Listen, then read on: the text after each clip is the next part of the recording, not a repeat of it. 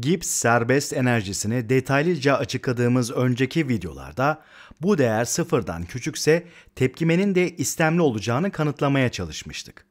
Bunun için de entropinin doğru tanımını kullandığımızdan emin olmak için büyük bir çaba sarf etmiştik. Bu noktadan bu noktaya gerçekleşen entropi değişimi tersinir bir sürece eklenen ısı miktarının eklenen sıcaklık miktarına bölünmesini ifade eder. Ortamda gerçekleşen entropi değişimi de bunun tam tersi yani sıfırdır. Bu tanımı kullanırken oldukça dikkatli davranmaya özen göstermemiz gerekiyor. Ancak şu anda kendi kendinize ders kitaplarında ya da çeşitli kaynaklarda bu konu çok daha basit bir tanımla anlatılmış diyor olabilirsiniz. Sizin ders kitabınızda bu böyle mi tam bilmiyorum. Ancak baktığım bazı internet sitelerinde durumun böyle olduğunu söyleyebilirim. Bu sayfalarda Gibbs serbest enerjisine çok daha basit bir argümanla varılıyordu. Ancak bu videoda özellikle bu konuya değinmek istedim. Çünkü o sayfalarda gördüğünüz konu anlatımlarının aslında yanlış olduğunu düşünüyorum. İlk olarak bu konunun o kaynaklarda nasıl anlatıldığını göstereyim. O sayfalarda gördüğüm kanıt olarak sunulan varsayıma göre termodinamiğin ikinci yasası bize istemli süreçler için delta S değerinin sıfırdan büyük olduğunu söyler. Buna tamamen katılıyorum. Burada evrendeki delta S değerinin sıfırdan büyük olduğundan bahsediyoruz. Bu da sistemdeki delta S değeri ile ortamdaki delta S değerinin toplamının sıfırdan büyük olacağı anlamına gelir.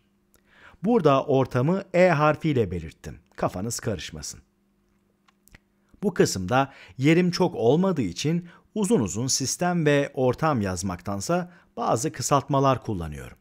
Şimdi devam edelim ve pek çok ders kitabında veya internet sitesinde anlatılan ve kanıt olarak sunulan adıma gelelim.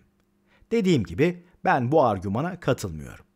Bu kitaplara göre ortamın delta S değeri yani şu değer ortama eklenen ısı miktarının ortamın sıcaklığına bölümüne eşit. Konuyu daha basit düşünmek için buradaki her şeyin sıcaklığının dengede olduğunu söyleyebiliriz. Çünkü kimya laboratuvarlarında genellikle böyle bir ortam söz konusudur. Ancak pek çok ders kitabında gördüğümüz bu adımın yanlış olduğunu düşünmemin başka bir sebebi daha var. Burada gördüğünüz eşitlik tepkimenin tersinirlik özelliğini hesaba katmıyor. Entropinin bu termodinamik tanımından yararlanabilmemiz için ısı transferinin tersinir olması gerekir. Şu an bunu genel anlamda söylüyorum. Buradaki sürecin tersinir olup olmadığını henüz bilmiyoruz. Doğal olarak tersinir olacağını da söyleyebiliriz. Yani burada tersinmez bir ısı transferi söz konusudur ve bu da entropinin tanımı değildir. Yine burada kullandığım kısaltma tersinmez anlamında. Entropinin termodinamik tanımı oldukça hassas ve dikkat gerektiren bir konu. Dediğim gibi bu tepkimenin tersinir bir tepkime olduğundan emin olmamız gerekir. Ancak tabii ki kimyaya giriş dersleri için bu çok da önemli bir unsur olarak sayılmıyor. Bunu bilmeseniz de sorunun cevabını bulabilirsiniz. Hatta sorunun kendisi de bu yanlış varsayıma göre hazırlanmış olabilir. Yani aslında kafanızı çok da karıştırmak istemiyorum. Sadece bunun yanlış bir varsayım olduğunu göstermek istedim. Çünkü tepkimenin istemli olduğunu varsayıp daha sonra da ortamdaki entropi değişiminin ortama eklenen ısı miktarının T sıcaklığına bölümüne eşit olacağını söyleyemeyiz. Bu yanlış bir varsayım olur. Çünkü bu tersinir bir tepkime değil.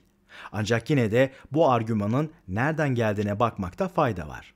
Demin de dediğim gibi bu varsayıma göre buradaki ifade sistemin delta S değeri artı ortamdaki ısı değişiminin ortamın sıcaklığına bölümüne eşit. Burası ortam. Bu durumda burası sıfırdan büyük olur. Yani bu varsayıma göre ortama eklenen ısı miktarı sisteme eklenen ısı miktarının negatifine eşit olur.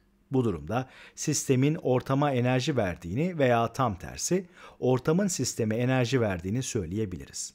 Bu durumda ikisi birbirinin negatif değeri olur.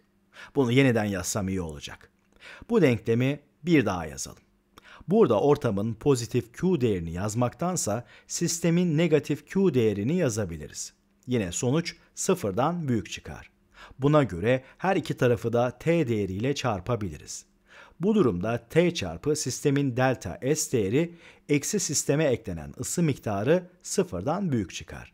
Şimdi de denklemin her iki tarafını eksi 1 ile çarpalım. Bu durumda denklemimiz şu şekilde olur. Sisteme eklenen ısı miktarı eksi sıcaklık çarpı sistemdeki entropi değişimi sıfırdan küçük olur. Denklemin her iki tarafını da eksi 1 ile çarptığımızdan her iki tarafın da işareti değişir. Tepkimede sabit basınç olduğunu da varsayarsak bu değerde sistemdeki entalpi değişimini ifade eder. Bu durumda entalpi değişimi eksi sıcaklık çarpı sistemin delta S değeri sıfırdan küçük olur. Yani bu varsayıma göre gips serbest enerjisi veya bu enerjideki değişim negatifse tepkimemiz istemli olur. Ancak bu varsayım tamamen bu denklemin bu şekilde yeniden yazılabileceği üzerine kurulu. Ama bunu bu şekilde yazmamız mümkün değil. Çünkü burada tersinir bir süreç söz konusu değil. Çünkü işe bu sürecin istemli ve tersinmez olduğunu varsayarak başladık. Bu yüzden bu değeri bu şekilde yazamayız. Tam da bu sebepten önceki videolarda bunu bu şekilde yazmamaya özen gösterdim. Yani dedim ki bu noktadan bu noktaya giden tersinmez bir sistemin entropi değişiminin bu noktadan bu noktaya giden tersinir bir sistemin entropi değişimine eşit olduğunu söyleyebiliriz. Başka bir deyişle bu noktadan bu noktaya giden tersinir bir sistemin entropi değişimi bu noktadan bu noktaya giden tersinmez bir sistemin entropi değişimine eşittir. Tabi tersinmez sistemde iki nokta arasında ne olduğunu tam olarak bilmiyoruz. Bu durumda buradaki değerle yukarıdaki değerin aynı olduğunu söyleyebiliriz. Ancak tersinmez sisteme eklenen ısı miktarına baktığımızda bunun tersinir sisteme eklenen ısı miktarından daha az olduğunu söylemiştik. Çünkü tersinmez sistemde sürtünmeye bağlı olarak ısı ortaya çıkmıştı. Buradan yola çıkarak da gips serbest enerjisinin ne olduğunu bulmuştuk. Ancak sizi bu videoda çok da detaya boğmak istemiyorum. Sadece bunun önemli bir nokta olduğunu düşünüyorum. Çünkü termodinamik konusunda bahsettiğimiz şeylerin çoğu entropinin tanımı ile ilgili.